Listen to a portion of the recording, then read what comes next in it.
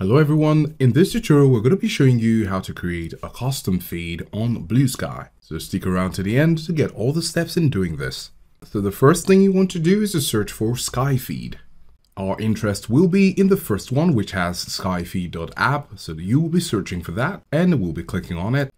And right here we have skyfeed.app and the service we will leave it at bluesky.social. It's in bsky.social, but it's bluesky.social. And the username will be our username for Bluesky. You could use your username or email address. And now we have our email address written. And the last point here is the app password. Now you won't be having this. In order to get it, we're going to go over to this icon here we're going to click on it and it will open a new tab for us. And right here, because we already have our Bluesky account, we're going to sign in. We'll put our username and our password. So we've just put in our email address and the password, and we're leaving the Bluesky social hosting provider as is. We're going to click on next, and now we're going to be taken to this page. And it says use app passwords to log into other Bluesky clients without giving full access to your account or password. And this is what we want. Now, if you're doing this for the first time, you're going to click on add app password, which is what we're going to do now. And here it has a randomly generated name for this app password. It has light blue, we like it, and so we'll leave it at that. We also have this box unchecked, allow access to your direct messages. We don't want that, so we're going to leave this box unchecked. We're going to click on add app password right now. And now we have the app password, which we're supposed to put in Skyfeed. Of course, we could copy all of this and then right now we have it copied, but of course you can click on that icon there to copy it. We're going to go back to Skyfeed to paste it there. Now over here in Skyfeed in the previous tab, which we had before, we're going to paste in the new password and continue. Great. And now we're in skyfeed.app and we have access to our Bluesky social profile. The next thing we're going to do is to look for feed builder.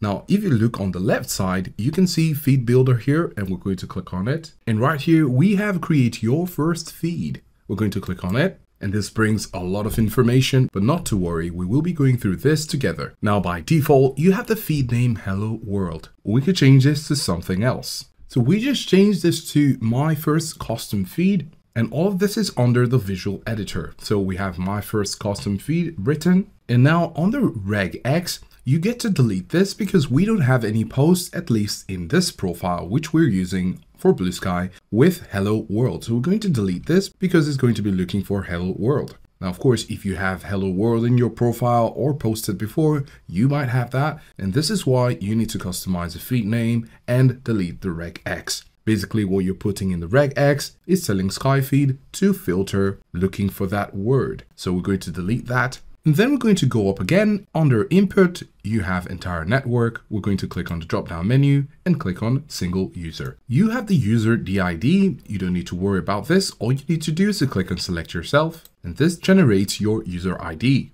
And then after all of this is checked, of course, you can go ahead and do other things if you want to, but with this, you can go ahead and click on publish feed. Now in this new pop-up box, you get to put in some other details. For example, you can upload an avatar image, put in our description, and then down here you have a license. When we click on the drop down, you have three options. Here you have MIT, which allows everything. Then you have the default, which allow remixes with the same license. And then you have the no license, which means that you're keeping all the rights for your post. Basically, you're setting to say if you want others to make remixes of your posts. So we can leave it at this and then click on publish. And now after that, you have the option to make some other edits here if you want, and then you can update the feed with this button after you've made any necessary changes. Assuming that this is what you want, you now have the published link to what we published. We're going to click on it, and this will take us to our Bluesky app. But this time it's on a custom feed. As you can see, my first custom feed. You could decide to pin this to home, and you also have the three dots here where you can save to my feed oh, or share this feed. So these are the steps to follow if you would like to create a custom feed on Bluesky.